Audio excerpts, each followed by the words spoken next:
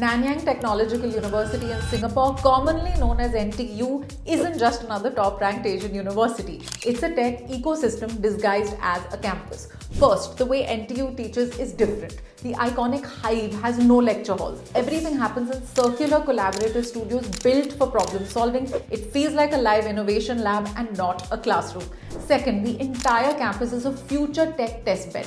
Driverless shuttles, AI managed energy grids, EV labs. At NTU, you don't just study tech, you live inside ongoing experiments every day.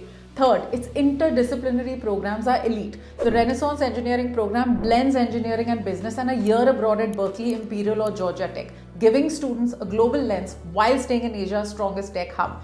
And finally, industry doesn't just hire from NTU, it sits inside NTU. Rolls-Royce, Continental and multiple quantum advanced manufacturing labs have R&D centers on campus. Students work besides the companies shaping the future.